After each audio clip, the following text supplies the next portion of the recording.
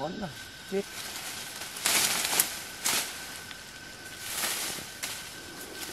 Các bác có biết cái này cái gì không ạ? Bạn cảnh đang ờ, hộ quân ờ, lấy những cái dây.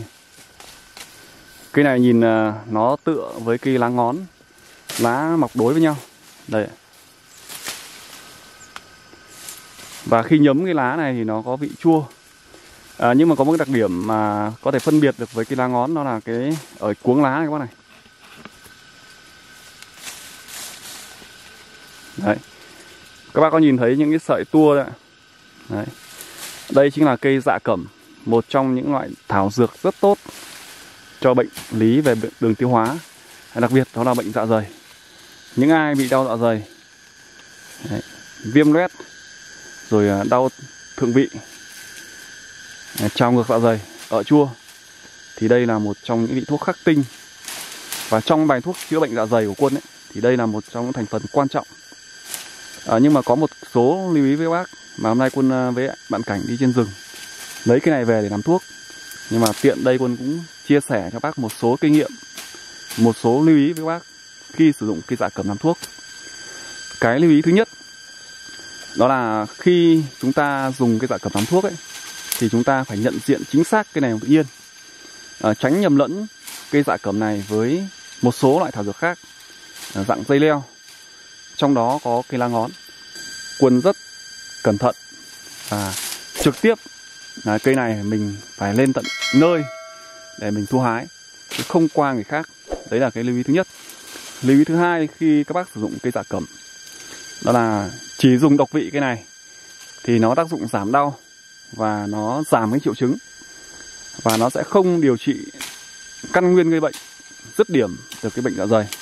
Bệnh dạ dày có nhiều thể có thể hàn có thể là ở thể nhiệt Đấy. hoặc là có những người thì mắc cả hai thể. Có những người bị viêm loét rồi thậm chí là chảy máu dạ dày. Nếu chúng ta chỉ dùng một vị dạ cẩm người ta vẫn coi đây là một loại khắc tinh. Đấy.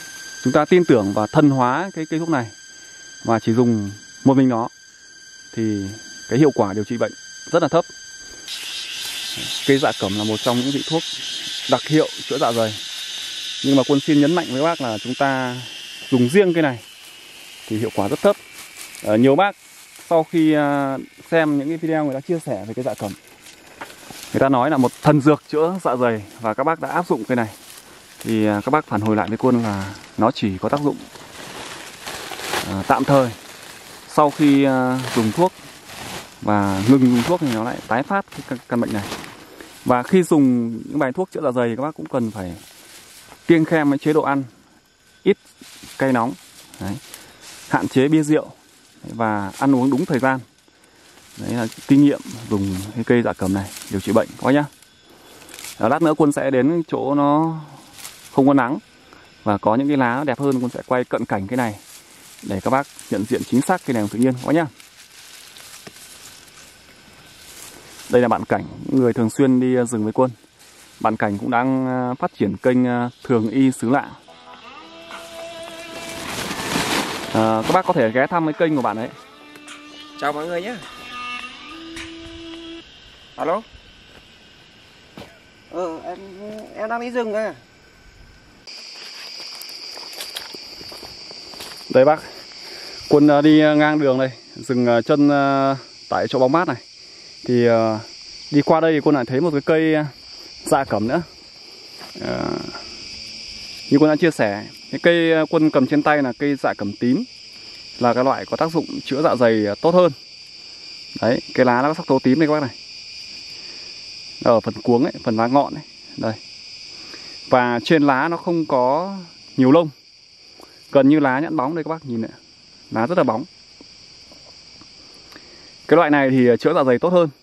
Đấy, nhiều bác là cũng bị nhầm với một cây nữa. Cũng là cây dạ cẩm nhưng mà là dạ cẩm trắng. Đây các bác. Các bác nhìn toàn bộ lá đây. Nó gần như là không có màu tím. Và một đặc điểm nữa đó là trên lá của cây này nó có những cái lông mịn cây này cũng được gọi là dạ cẩm nhưng mà là cái dạ cẩm tác dụng chữa dạ dày không bằng so với cây lá bóng này. Đấy, lá tím và lá bóng này. Đấy các bác nhìn hai cây nó gần giống nhau, nhưng một cây có lông bên phải đây, và một cây không có lông bên trái đây. Đấy, các bác phân biệt nhé. Cái cây này thì gọi là dạ cẩm lông hoặc là dạ cẩm trắng. Còn khi dùng thì chúng ta sẽ dùng cây dạ cẩm tím này.